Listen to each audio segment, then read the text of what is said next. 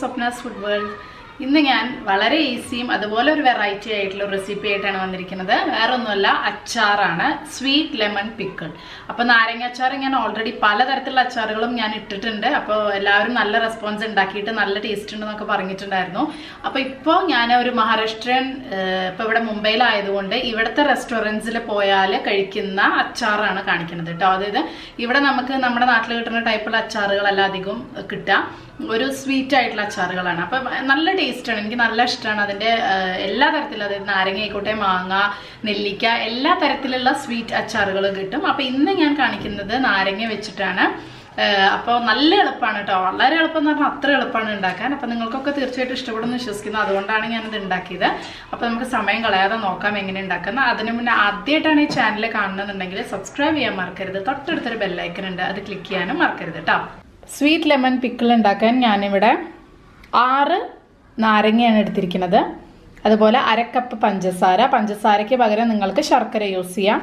പിന്നെ ഉപ്പ്. ഞാനിവിടെ എടുത്തിരിക്കുന്നത് ബ്ലാക്ക് സോൾട്ട് ആണ്. അതല്ലാന്നുണ്ടെങ്കിൽ ഹിമാലയൻ സോൾട്ട് എന്നൊക്കെ പറയില്ലേ? അതാണ് നിങ്ങൾക്ക് സാധാരണ ഉപ്പ് കൊടുക്കാം കേട്ടോ ഇത്രയും മൂന്ന് ഇൻഗ്രീഡിയൻസേ നമുക്ക് വേണ്ടു. വേറെ ഒന്നും വേണ്ട. അപ്പൊ നാരങ്ങ എടുക്കുമ്പോൾ ശ്രദ്ധിക്കേണ്ട ഒരു കാര്യം കണ്ട്? നാരങ്ങ ഇങ്ങനെ തൊട്ട് നോക്കുമ്പോൾ നല്ല സോഫ്റ്റ് ആവണം. അത്രയും സോഫ്റ്റ് ആയിട്ടുള്ള നാരങ്ങ ആകുമ്പോഴാണ് അച്ചാറിന് ടേസ്റ്റ് ഉണ്ടാവുള്ളൂ. അത് ഭയങ്കര ഹാർഡായിട്ടുള്ള നമ്മൾ തൊലി ഇങ്ങനെ കട്ടി ഉണ്ടാവില്ല ആ നാരങ്ങ എടുക്കരുത്. ഇതുപോലെ ഇങ്ങനെ കുറച്ച് ചെറുത് സോഫ്റ്റ് ആയിട്ടുള്ള നാരങ്ങ എടുക്കുക കേട്ടോ. അപ്പൊ ഈ നാരങ്ങ ഞാൻ നന്നായിട്ട് കഴുകി തുടച്ചിട്ടുള്ളതാണ്. ഇത് നമുക്കൊരു നാല് പീസാക്കി മുറിക്കാം. രണ്ട് പീസാക്കുക എന്ന് പറയുമ്പോൾ കുറച്ച് വലുതല്ലേ? അപ്പൊ നാല് പീസാക്കുക ഒരു നാരങ്ങ. അപ്പം ഞാനിവിടെ എല്ലാം നാല് പീസായിട്ട് മുറിച്ചിട്ടുണ്ട്. അതുപോലെ എല്ലാത്തിന്റെയും കുരു മാറ്റിയിട്ടുണ്ട്. നമുക്ക് അതിന്റെ സീഡ്സ് വേണ്ട. അത് മാറ്റിയിട്ടുണ്ട്. ഇനി നമുക്ക് ഇത് കുക്കറിൽ ഒരു എട്ട് വിസിൽ എട്ട് മുതൽ പത്ത് വിസിൽ വരെ വേവിച്ചെടുക്കണം.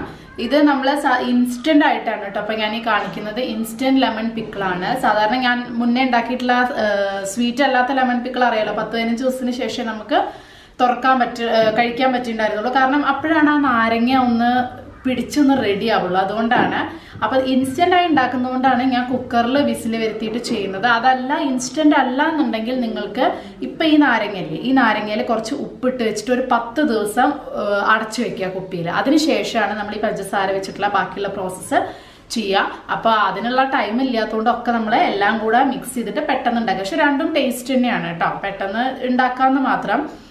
അപ്പം ഞാൻ ഇതിലേക്ക് ആവശ്യത്തിന് ബ്ലാക്ക് സോൾട്ട് ചേർക്കുകയാണ്. കുറച്ച് ആദ്യം കുറച്ച് ചേർത്ത് കൊടുക്കുക. കാരണം പിന്നെ നമുക്ക് വേണമെന്നുണ്ടെങ്കിൽ പിന്നെ നമുക്ക് ചേർക്കാം.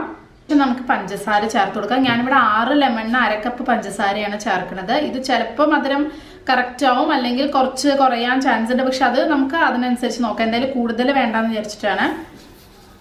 അപ്പോൾ ഞാൻ പറഞ്ഞ പോലെ ഇത് നമ്മൾ ഇവിടുത്തെ മഹാരാഷ്ട്ര റെസിപ്പിയാണ്. നമ്മുടെ ഇവിടുത്തെ റെസ്റ്റോറന്റ്സിലൊക്കെ ചെന്ന് കഴിഞ്ഞാൽ നമ്മൾ പറാത്താസിനും ഇതിനൊക്കെ കൂടെ ഇവർ തരുന്നത്. നമ്മുടെ നാട്ടിൽ നാരങ്ങ അച്ചാർ തരുന്ന പോലെ അവർ തരുന്ന റെസ്റ്റോറന്റ്സിൽ തരുന്ന അച്ചാറാണ് ഇങ്ങനത്തെ മധുരമുള്ളത്. അപ്പം എനിക്ക് ഭയങ്കര ഇഷ്ടമാണ് ഈ അച്ചാറിന്റെ ടേസ്റ്റ്. അങ്ങനെ ഞാൻ ഉണ്ടാക്കുന്നതാണ് ഇപ്പോൾ അപ്പം ശരിക്കും ഇതിൽ പഞ്ചസാരയ്ക്ക് പകരം ശർക്കര ഇടാം. ഇപ്പം ശർക്കര ഇല്ലാത്തതുകൊണ്ട് ഞാൻ പഞ്ചസാര ഇടുകയാണ് രണ്ടും ടേസ്റ്റാണ് ശർക്കര ആകുമ്പോൾ കുറച്ചും കൂടെ ഹെൽത്തിയാണ് ഇപ്പം നന്നായിട്ട് മിക്സ് ചെയ്യാം. നമ്മൾ ഈത്തപ്പഴ അച്ചാറൊക്കെ നമ്മൾ കഴിക്കില്ലേ? അതായത് ബിരിയാണിയുടെ ഒക്കെ കൂടെ നമ്മളൊരു മധുരമുള്ള അച്ചാർ കഴിക്കില്ല? അതുപോലെയാണ് നമുക്ക് പറാത്താസിന്റെ കൂടെ നല്ല കോമ്പിനേഷനാണ് ബിരിയാണിയുടെ കൂടെ ഈ മധുരമുള്ള അച്ചാർ നല്ല കോമ്പിനേഷനാണ് കേട്ടോ ബ്ലാക്ക് സോൾട്ട് ഇട്ടാൽ എന്താ വെച്ചാൽ ആ ഒരു പ്രത്യേക ഒരു ഫ്ലേവർ ഒരു ടേസ്റ്റ് ഉണ്ട്. അത് വരും. അതുകൊണ്ടാണ് ഇല്ലെങ്കിൽ കുഴപ്പമില്ല. സാധാരണ ഇട്ടാലും കുഴപ്പമില്ല. അപ്പം ഞാൻ കുക്കറിൽ കുറച്ച് വെള്ളം വെച്ചു. അതിന്റെ മേലെ ഒരു പാത്രം വെച്ചിട്ട് അതിലാണ് പഞ്ചസാരയും അതുപോലെ ഉപ്പ് ലെമൺ ഇതെല്ലാം കൂടെ മിക്സ് ചെയ്തിരിക്കുന്നത്. ഇനി നമുക്ക് ഈ പാത്രം അടച്ചു വെക്കണം ഇതിൽ വെള്ളമൊന്നും കയറാതിരിക്കാൻ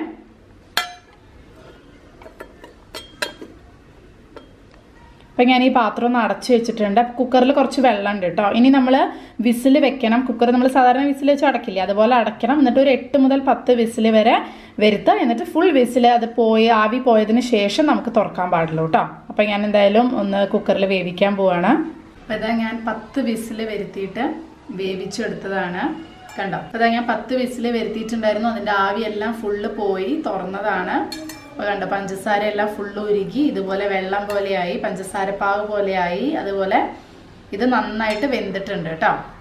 നമ്മളൊരു പത്ത് ദിവസം ഇങ്ങനെ വെച്ചാൽ എങ്ങനെ ഉണ്ടാവും അതുപോലെ ആയിട്ടുണ്ട്. എന്തായാലും രണ്ട് മൂന്ന് ദിവസം കൂടി കഴിഞ്ഞിട്ട് കഴിക്കുമ്പോൾ കുറച്ചും കൂടെ ടേസ്റ്റ് ഉണ്ടാവും. പക്ഷെ ഇത് നന്നായിട്ട് വെന്തിട്ടുണ്ട്. ഒരു കാര്യം നിങ്ങൾ പ്രത്യേകം ശ്രദ്ധിക്കണം. നിങ്ങൾ കയപ്പുള്ള നാരങ്ങ വാങ്ങിക്കരുത് കേട്ടോ അപ്പോൾ ഇത് കയച്ചിട്ട് നിൽക്കില്ല കാരണം ഒന്ന് രണ്ട് പ്രാവശ്യം എനിക്ക് അങ്ങനെ അബദ്ധം പറ്റിയിട്ടുണ്ട്. അതുകൊണ്ടാണ് ഞാൻ ആ സോഫ്റ്റ് ആയിട്ടുള്ള അച്ചാറിന് ഇടുന്ന പോലത്തെ നാരങ്ങ വാങ്ങാൻ പറഞ്ഞത്. കാരണം ഞാൻ ആദ്യം ഉണ്ടാക്കിയിട്ടുള്ള അച്ചാറ് നാരങ്ങച്ചാറും ഉണ്ടാക്കി ഒരുപാട് പേര് പറഞ്ഞു നല്ല ടേസ്റ്റ് ഉണ്ട് വെറൈറ്റിയാണ് പക്ഷെ അതിലും കുറേ പേര് പറഞ്ഞൊരു കാര്യം ചേച്ചി എന്താ നാരങ്ങ ഭയങ്കര കയപ്പ്? അപ്പം അത് നല്ല നാരങ്ങ നോക്കി വാങ്ങിയിട്ടുള്ള ഇതാണ് കേട്ടോ അത്രേ ഉള്ളൂ.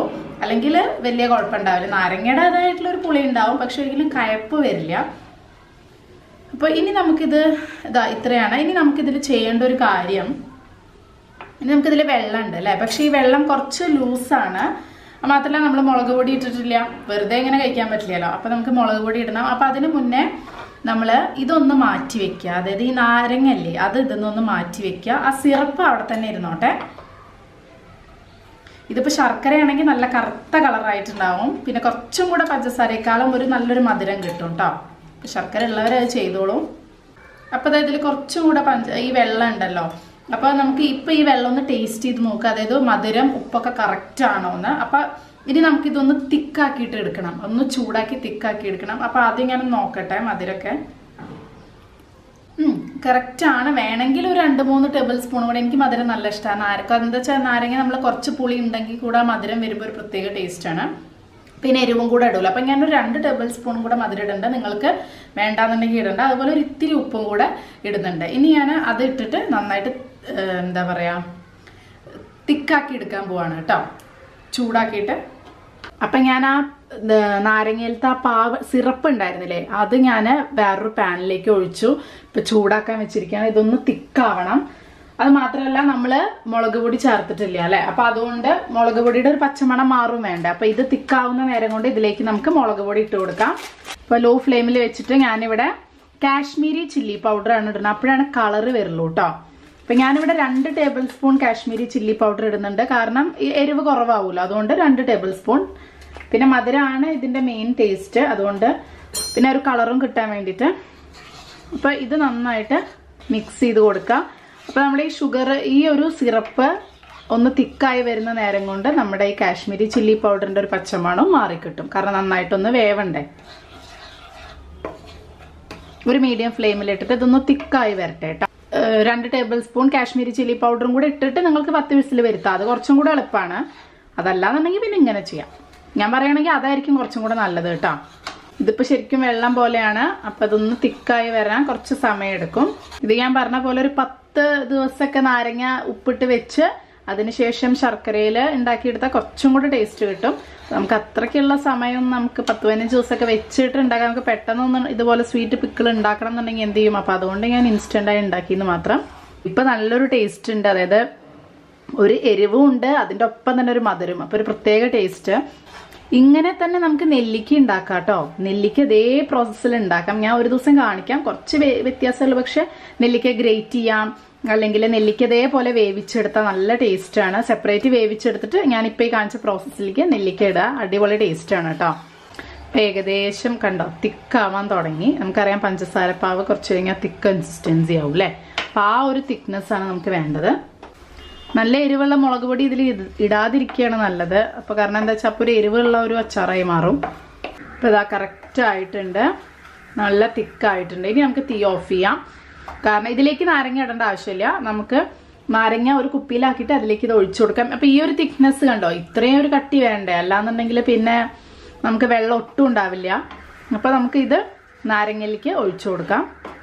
അപ്പം ഞാൻ ഈ നാരങ്ങയിലേക്ക് നമ്മുടെ ഈ സിറപ്പ് ഒഴിച്ചു കൊടുക്കുകയാണ് വളരെ കുറച്ചേ ഞാൻ ഉണ്ടാക്കുന്നുള്ളൂ. കാരണം ഞാൻ പറഞ്ഞല്ലോ അച്ചാർ ഇവിടെ ഞാൻ മാത്രമേ കഴിക്കുള്ളൂ. അതുകൊണ്ട് വളരെ കുറച്ചേ ഞാൻ ഉണ്ടാക്കിയിട്ടുള്ളൂ. ഇനി ഞാനിതൊരു കുപ്പിയിൽ അടച്ചു വെക്കും കേട്ടോ. ഒരു രണ്ട് ദിവസം കഴിഞ്ഞ് കഴിച്ചാൽ കുറച്ചും കൂടി ടേസ്റ്റ് ഉണ്ടാവും. ഞാൻ പറഞ്ഞ പോലെ നാരങ്ങയിൽ ഇതൊന്ന് പിടിക്കണ്ട. എപ്പോഴും അച്ചാർ അന്നത്തെ ദിവസം കഴിക്കുന്നേക്കാളും നല്ലത് ഒരു രണ്ട് ദിവസം കഴിഞ്ഞ് കഴിക്കുകയാണ് അപ്പോഴാണ് അച്ചാറിൽ ഇതൊക്കെ ഒന്ന് പിടിക്കുള്ളൂ നാരങ്ങയിൽ പിന്നെ ഇത് ഫ്രിഡ്ജിൽ വെച്ച് നിങ്ങൾക്ക് രണ്ട് മൂന്ന് മാസം വരെ സുഖമായിട്ട് യൂസ് ചെയ്യാം കേട്ടോ ആദ്യം നിങ്ങൾ കുറച്ച് ക്വാണ്ടിറ്റി ഉണ്ടാക്കി നോക്കൂ. നിങ്ങൾക്ക് ഇഷ്ടപ്പെടുകയാണെന്നുണ്ടെങ്കിൽ നിങ്ങൾ കുറച്ച് അധികം ഉണ്ടാക്കി വെക്കാം. ഞാൻ പറയുക പറാത്താസ് അതുപോലെ ചപ്പാത്തി ബിരിയാണിക്കൊക്കെ നല്ല ടേസ്റ്റാണ് ഇതുവരെ ഉണ്ടാക്കിയിട്ടുള്ള എല്ലാ അച്ചാറിന്റെയും ലിങ്ക് ഞാൻ ഡിസ്ക്രിപ്ഷൻ ബോക്സിൽ ഇടാം കേട്ടോ അപ്പോൾ നമ്മുടെ നാരങ്ങച്ചാറ് നല്ല എളുപ്പമല്ലേ പത്ത് മിനിറ്റിന്റെ പരിപാടി ഉള്ളൂ അല്ലേ? അപ്പോൾ എല്ലാവരും തീർച്ചയായിട്ടും ഉണ്ടാക്കി നോക്കണം. ഇഷ്ടപ്പെടുകയാണെന്നുണ്ടെങ്കിൽ ഷെയർ ചെയ്യാൻ മറക്കരുത്. ഒരു ലൈക്ക് തരാനും മറക്കരുത് കേട്ടോ ബൈ Thank you.